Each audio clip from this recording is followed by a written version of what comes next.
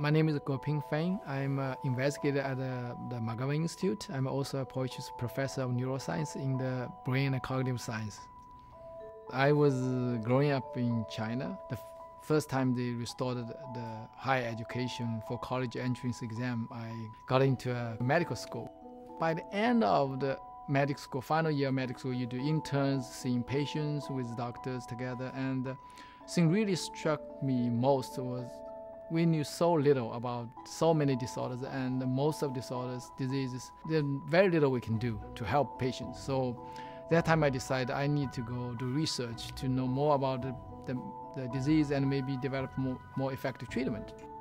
I'm mostly interested in uh, you know the development of the nerve system and uh, especially how the disruption of this nerve system will lead to brain disorders. Traditionally, it's very hard to model human psychiatric disorders in animal models because animals are not humans, they are different. We don't know what they are thinking, we don't know whether they're obsessed. But in the past few years, the combination of understanding of human genes involved that you can model in animal behavior and advance of behavior testing in, in, in mice and rodents really helped us a lot because we can model some aspect, a, a very specific symptoms of this human disorder in mice and understand how this mutation can lead to this very unique symptoms. Think about a brain, there are billions of neurons. They have connections precisely, this neuron connect to other neurons. They are not randomly connected. Most of neurons communicate through a very specialized connection called synapses. Basically, synapses are the junction between two neurons. And in that very small, a few micron you know, structure, there are trillions of trillions of these synapses. There are many, many different types. And so because this is a building block of our communication, you can imagine anything wrong with these synapse will lead to uh, dysfunction of our nervous system. So one of the approaches is to look at the, the genes important for, for the development of the uh, nervous system in the mice, and then look at how this gene may function in humans once you identify this gene, you can also go in human patient to sequence to see whether you can find mutations of this gene in a certain disorders. And on the other hand, if human geneticists find mutations, we can take that mutation from humans and make a mouse with exactly the same mutation to see how they affect the brain function of the mice. Then you generate a, a model for this disorder. Our approach is to study how the scaffolding proteins, they are the key group of proteins important for assembly of synapses.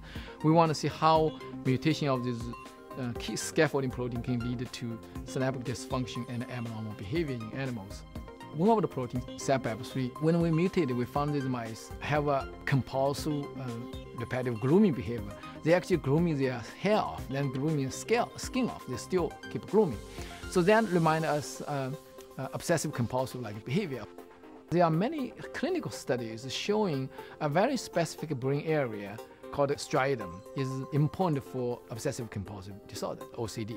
What we did was to specifically put this gene back only in the striatum, a small brain area. So we think, can you rescue this behavior? If you can, then you pinpoint down this is the brain area is responsible for this type of abnormal behavior. So that's exactly what it did. And we have further evidence that there are neurocircuitry defects in that area, which point us to a new potential target for um, drug development in the future. Many of autistic patients, um, above 30% of them, have comorbidity with OCD.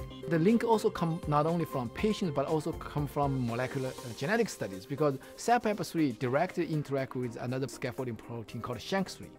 And SHANK3 is one of the a very prominent candidate for autism and the deletion of SHANK3 has been found in many, many hundreds of um, autistic patients. One of the major symptoms in autism is repetitive uh, behavior.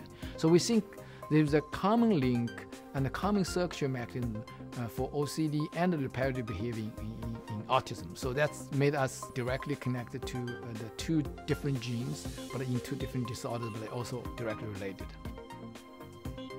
in the past 10 years, I think lots of advance has been made not only in the tools to manipulate the, the neural function, but also the desire to understand what are the circuitry bases of behavior. How to translate these discoveries in animal models into uh, uh, effective treatment. This is still a, a, a, long way to go, but I think that's the ultimate goal is to translate this, you know, laboratory research into the clinical side.